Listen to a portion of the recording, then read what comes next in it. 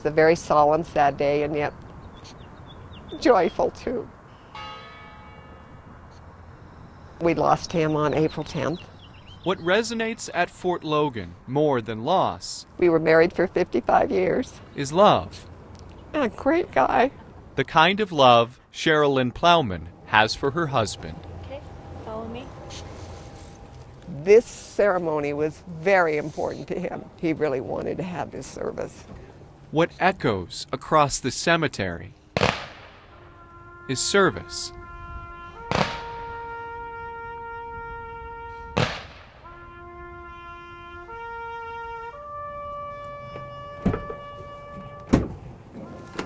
Oh my gosh, look at that beautiful bell. Listen, and you'll hear the sound of reverence reverberate. Gets to your heart, and it, it just it brought tears to my eyes. Good job. The honor bell rolls in and out of Fort Logan every day. We average 16 to 18 services a week. And they must do it day after day after day. A group of veteran volunteers toll the bell. 1,000 pounds of bronze speckled with artifacts from Colorado vets. It's about duty, honor, respect of our fallen heroes. And I'm very passionate about that. This team is here for the fallen. Lou brainstormed. He said, "There's got to be some way that I can ensure that every military veteran has some kind of honor." continuing the tradition started years ago by a veteran named Lou Oliveira. We found that we shared a love of peanut M&Ms kind of as a traveling snack. Michelle Mallon always picks up where she left off with her friend. Yep, the squirrels already got here.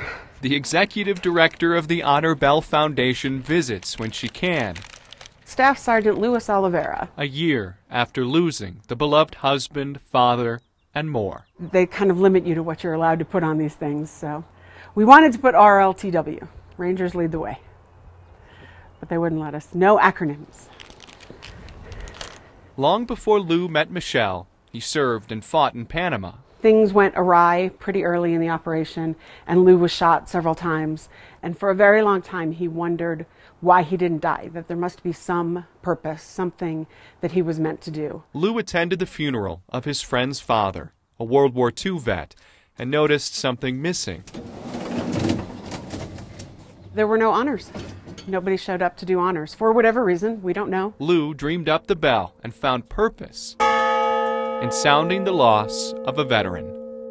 For the last four years of his life, it was it was everything. It was every day for for all of us. Service after service, Lou tolled the bell hundreds of times by himself. He saw a problem and he fixed it. And he built a community around himself and the bell to address it. It was easy to see the bell was his passion. Few knew of the pain he held inside. Like many veterans, he struggled with PTS.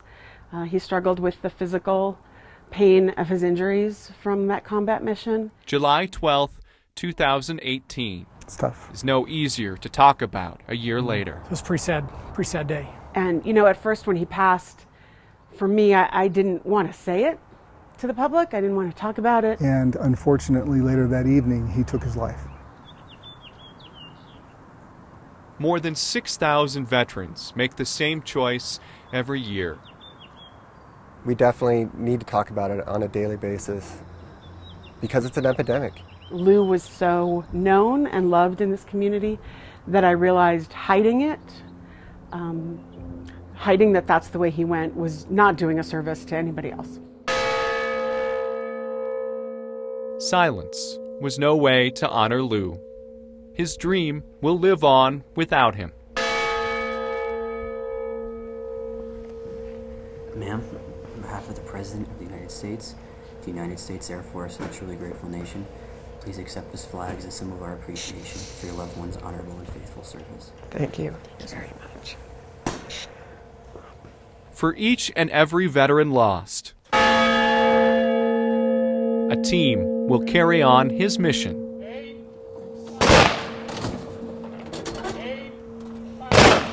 Go. Let's do this. The final goodbye. Uh, it's a very uh, solemn ceremony, isn't it? But it's beautiful. Jim would be so proud and honored. They'll toll the honor bell for all who served and make sure it's loud enough for Lou. He gets to hear that bell toll every day. Noel Brennan, 9 News.